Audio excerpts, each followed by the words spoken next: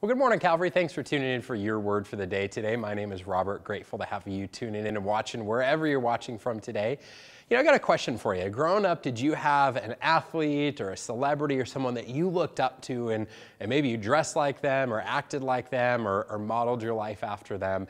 I think back to, to my childhood, and when I was younger, I played baseball, and I remember uh, just adoring Mark McGwire and his home run records and the, the success he had. I remember watching him and Sammy Sosa, and especially Mark McGwire, trying to figure out how he swung the bat and how he stood in the batter's box, trying to figure out how do I be more like him as I got older, I started riding motorcycles and I learned about uh, Baja racing and, and, I learned about Johnny Campbell and I had posters of him and I would watch how he would, he would stand on the bike and how he would ride and I'd go out and I'd try and look like he did and I would just want to be like him. And, and, what's interesting is this seems to be such a common thing for, for most of us when we're kids. Maybe it's an athlete or maybe it's a, a musician and you want to dress like them and you, you act and dance or whatever it is, or it's a celebrity. And, and at some level, I feel like we think this needs to end at childhood. But biblically, we're actually told to continue this same practice, but to direct it in a more intentional direction. See, Hebrews chapter 12, verse 2 says this it says that we're to look to Jesus the founder and perfecter of our faith. It says, For the joy set before him, he endured the cross, scorning its shame, and sat down at the right hand of the throne of God. So it says that if you are a follower of Jesus, that what you're to do is fix your eyes on Jesus as the founder and perfecter.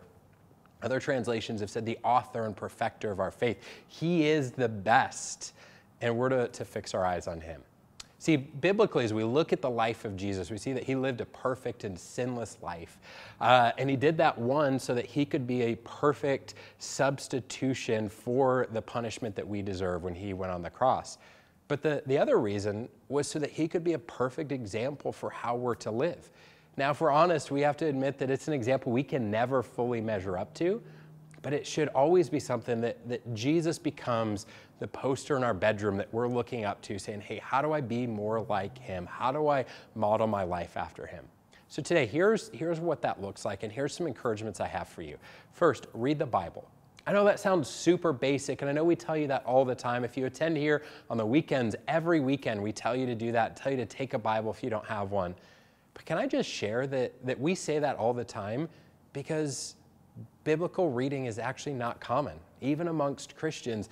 The, the, the regular Christian doesn't read the Bible on a regular basis, and I don't have the percentages or anything like that, but I just know that wherever you're at, you can lean in more to reading the Bible. If you want to get to know Jesus, the author and perfecter of your faith, and model your life after him, you need to read the Bible.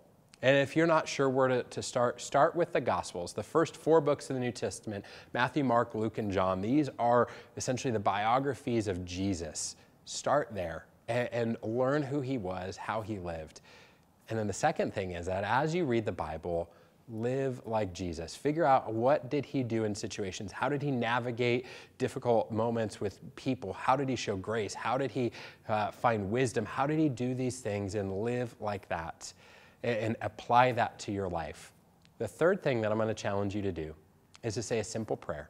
This says something like this. You can say it in your own words, but something to effective. God, help me to live more like your son Jesus. God, show me how to live more like Christ. Help me to, to walk in the footsteps of Jesus, whatever resonates with you. But that thought is asking God to help you live more like Jesus. And that's a bold prayer because your life has some areas that are different than how Jesus would live. And by praying that prayer, you have to surrender and say, God, I'm willing to, to walk a different path.